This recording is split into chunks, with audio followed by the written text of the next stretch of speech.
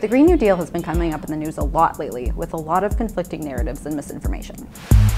The Green New Deal says you don't have to go to work. It's just a socialist wish list. There is no mention of the elimination of farting cows. Pay for the Green New Deal by just printing money. Another victim of the Green New Deal, it's ice cream. The Green New Deal. Green New Deal. The Green New Deal. This Green New Deal passes, the American dream dies. So let's clarify.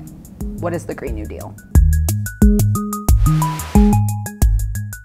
Inspired by FDR's New Deal, the Green New Deal is an idea an idea to overhaul the entire US economy by investing in clean energy jobs and infrastructure.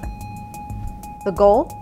Rapidly decarbonize the US and level the playing field for everyone. When we talk about a Green New Deal, we are talking about jobs and justice.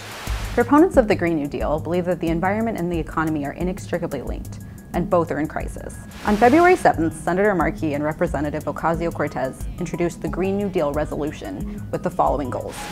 One, decarbonization. That means eliminating greenhouse gases in everything from transportation to food production. This process could involve everything from shifting to solar power and wind to considering options like nuclear and carbon capture. Two, a jobs guarantee. The Green New Deal aims to provide well-paying jobs for anyone who needs them. Jobs would be created through massive undertakings, like overhauling the electrical grid and making buildings more energy efficient. Three, protections for frontline communities. That means people directly impacted by climate change. It also means securing stability for people like coal miners whose jobs would be impacted by decarbonization. The proposal is massive and still pretty vague. It includes everything from universal access to clean water to even free higher education.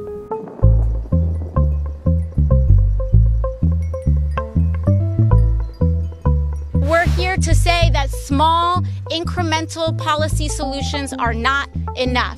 While many Democrats have thrown their support behind the Green New Deal, it still has a ways to go before it becomes reality. But supporters are optimistic.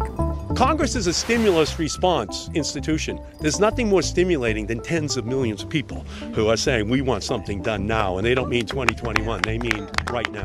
Climate change hasn't been on the agenda since it was dead on arrival on the Senate floor a decade ago. So, what changed? The difference between 2009 and 10 and today is the movement that has now been built, okay?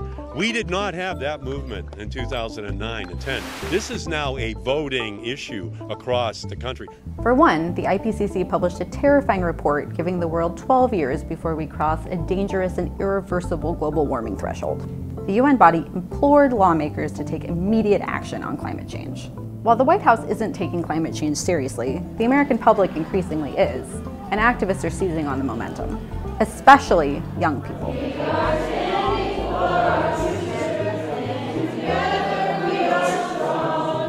The Sunrise Movement, a youth-led climate action group, have taken up the mantle and are galvanizing the public. I want to let you all know how proud I am for putting yourselves and your bodies and, and everything on the line make sure that we save our planet, our generation, and our future. They organized a sit-in at Nancy Pelosi's office that went viral.